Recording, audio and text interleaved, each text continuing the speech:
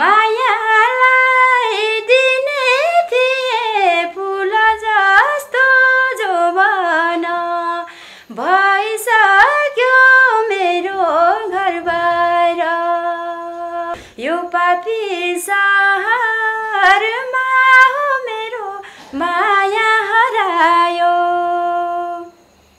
लाइसके हारे खाना खोलम क्या आँसुको कारखाना।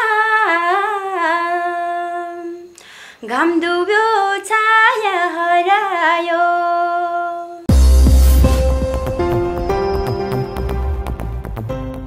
नमस्कार दर्शकवृन्द। जिपिएचडी भिडियो युट्युब च्यानलमा यहाँहरू सम्पूर्णलाई हार्दिक स्वागत गर्न चाहन्छु। म गजेन्द्र मगर। दर्शकवृन्द आज मसँग पूर्वी रुकुमको एक लुकेको प्रतिभा अ, लाई लिएर आएको छु मैले।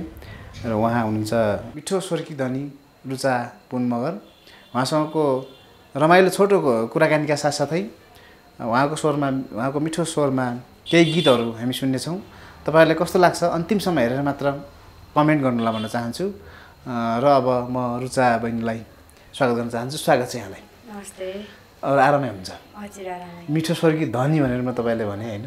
किन भने भने तपाईँको गीत मैले फेसबुकमा फेसबुकमा लाइभ गाएको अथवा चाहिँ लाइभ दोहोरी गाएर हालेको गीतहरू मैले धेरै सुनेको छु।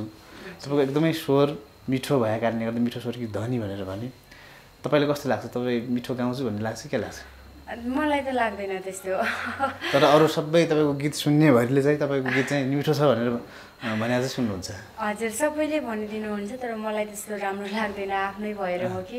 यो यस्तो स्वर तपाईँलाई तपाईँको स्वर यो सानैदेखि तपाईँको यस्तै स्वर प्रकृतिले नै दिएको हो कि? अथवा तपाईँ गाउँदा गाउँदा यो पछि मिठो बन्न गयो यो स्वर?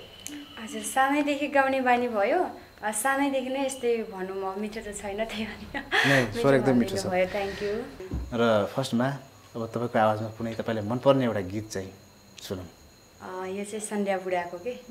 काउली काउली बुढी। बुढीको। है के गाउँछु मैले? धेरै मनपर्छ मलाई। उबेलामा जानेनौ जानेनौ ए भागम भन्दा आफैले मानेनौ मैलो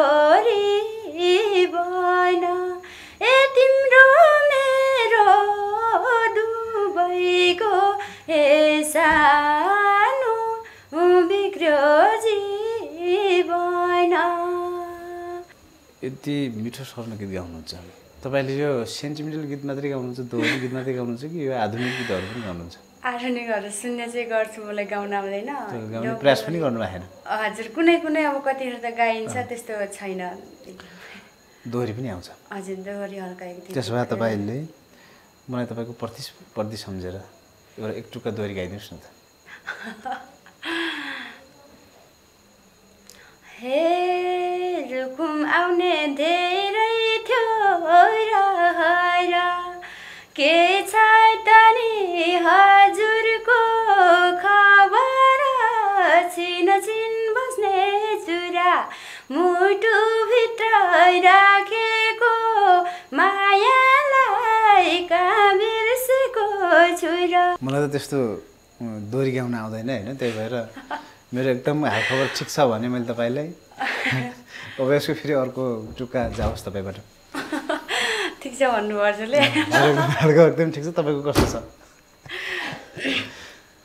हा, माया मलाई भन्या झैलाएनौ आएकोदेखि फर्केर गएनौ छिन छिन बस्ने छुरा मुटुभित्र राखेको मायालाई कहाँ बिर्सेकी छुरा मुटुभित्र राखेकी मायालाई कहाँ बिर्सेकी छुरा एकदम धन्यवाद अरू जे होस् जिन्दगी एकदम खुसीका साथ चलिराखेको छ हजुर खुसी नै हुनु पर्यो खुसी नै छ जो जे छ जुन अवस्थामा छ तर पनि त्यहीमा सन्तुष्ट तपाईँ एकदमै तपाईँले यो भइदिए हुन्थ्यो भन्ने केही छैन त्यस्तो अब यो भइदिए हुन्थ्यो भन्ने त अब सपना त यो। भइदियो भए मेरो जिन्दगी अझै सफल हुन्थ्यो कि त्यो भनेको मलाई कलाकार क्षेत्रमै लाग्न सानै बचपनदेखि नै धेरै ठुलो सपना हो तर भनेको ठाउँमा पुग्न सकेन त्यो दुःखको कुरा छ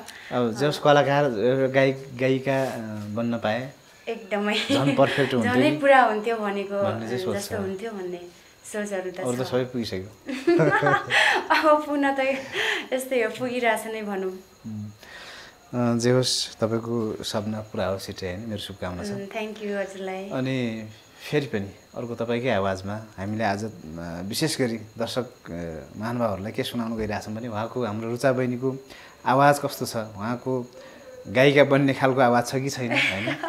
भन्ने विषयलाई मध्यनजर गरेर हामी यो इन्टरभ्यू गरिराखेका छौँ। त्यसैले उहाँका केही अ, कुराकानी भन्दा पनि बढी चाहिँ हामी गीत सुन्नेछौँ होइन?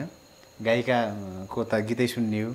र फेरि उहाँ फेरि नवप्रतिभा नवगायिका भएका कारणले गर्दा उहाँको अलिकति दुई चारवटा अलिक बढी गीतहरू प्रस्तुत गऱ्यौँ भने तपाईँहरूलाई तपाईँहरूले पनि मूल्याङ्कन गर्नुहुनेछ भन् त्यसैले चाहिँ हामी अझै फेरि अर्को गीत सुन्नेछौँ उहाँको आवाजमा।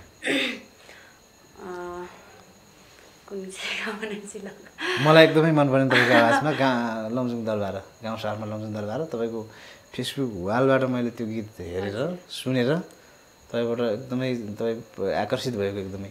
त्यसैले अहिलेलाई गाउँ सहरमा लमजुङ दरबार भन्ने गीत तपाईँको आवाज आवाजबाट सुन्न चाहन्छु। हे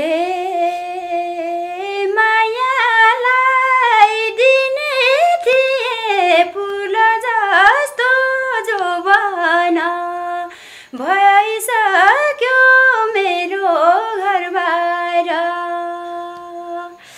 एउटा टुक्का पनि है त टुक्क पनि जाओस् तिमी उता म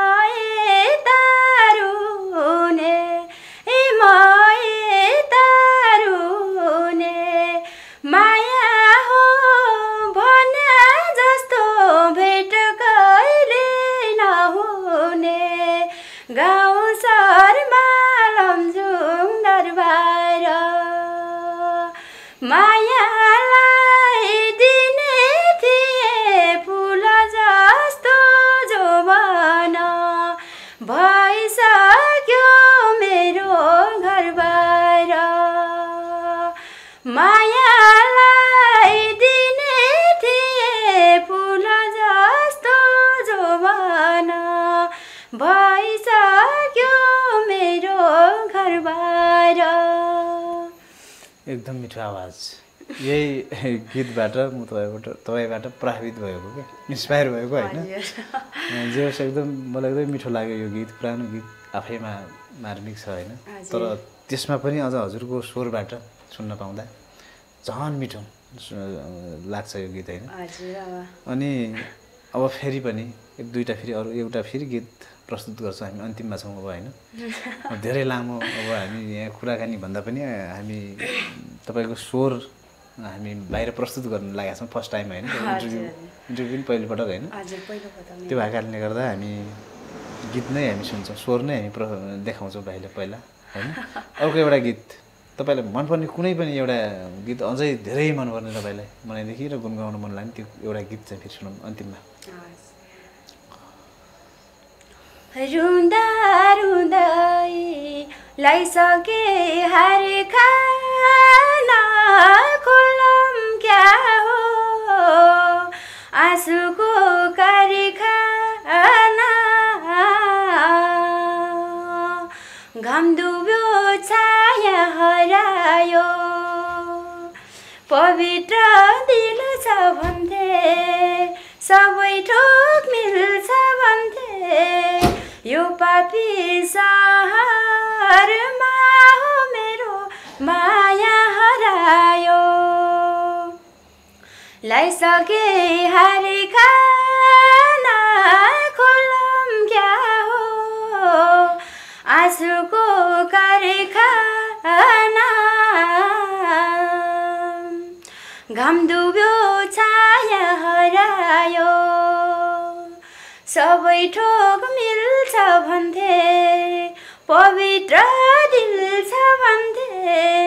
यो पापी सहरमा हो मेरो माया हरायो। जे होस् मिठो स्वर छ होइन। दुई तिनवटा गीत हामीले प्रस्तुत गऱ्यौँ। कस्तो लाग्छ दर्शक महानुभावहरूले यो हेरेर यो हाम्रो भिडियो अन्तिमसम्म हेरेर चाहिँ उहाँको स्वर कस्तो छ गीतहरू कस्तो छ उहाँको यो प्रस्तुतिकरण कस्तो छ गाउने शैली कस्तो छ होइन सबै कमेन्ट गर्नु नै छ भन्ने हामीले विश्वास लागेको छ अन्तिममा गएर। र हामी अब अन्तिम चरणमै छौँ होइन फेरि पनि हामी अर्को इन्टरभ्यू पनि लिने म बाचा गर्न चाहन्छु सम्पूर्णलाई। फेरि त्यस्तो अवसर मिल्यो भने यदि तपाईँहरूले मन पराइदिनु भयो भने तपाईँले अझै फेरि अर्को इन्टरभ्यू चाहिँ लिनुपर्छ भनेर चाहिँ रिक्वेस्ट गर्नुभयो भने फेरि पछि अर्को इन्टरभ्यू पनि हामी लिनेछौँ यही च्यानलबाट होइन।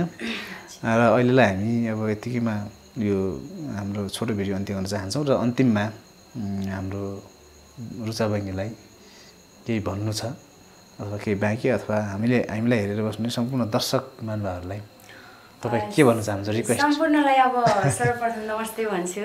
अनि हामीलाई हेरेर बस्नुहुने सम्पूर्ण साथीहरूलाई के अरे धन्यवाद पनि भन्न चाहे र लाइक कमेन्ट गरिदिनु भयो भने सेयर गरिदिनु भयो भने। यसैबाट नै अलिकति माथि उठ्न सकिन्छ कि भन्ने आशा राख्दै। रुचा बहिनीको एउटा मात्रै सपना छ होला होइन गायी गायिका बन्ने। र तपाईँहरूको साथ सपोर्टको चाहिँ साह्रै खाँचो छ उहाँलाई। उहाँ एउटा नवप्रतिभा हुनुहुन्छ। त्यसैले सम्पूर्ण दर्शक महानुभावहरूलाई मैले पनि के रिक्वेस्ट गरेँ भने उहाँलाई माथि यदि उठाउने नै हो भने तपाईँले यो हाम्रो भिडियोलाई लाइक एक लाइक र सेयर एक सेयर गरिदिनुको लागि अनुरोध गर्न चाहन्छु। सेयर गरेर अरू साथीहरूको वालमा पनि पुर्याइदिनुको लागि अनुरोध गर्न चाहन्छु होइन? र मेरो च्यानललाई पनि सब्सक्राइब गरिदिनु होला भन्न चाहन्छु र अन्तिममा रुचा बहिनीलाई म यहाँ मेरो रिक्वेस्टलाई स्वीकारेर आउनुभएकोमा समय दिनुभएकोमा थ्याङ्क यू सो मच भन्न चाहन्छु। हजुरलाई पनि धेरै धेरै धन्यवाद। थ्याङ्क यू सो मच फेरि पनि हामी भेट्नेछौँ है। अहिले छुट्यौँ। Thank you so much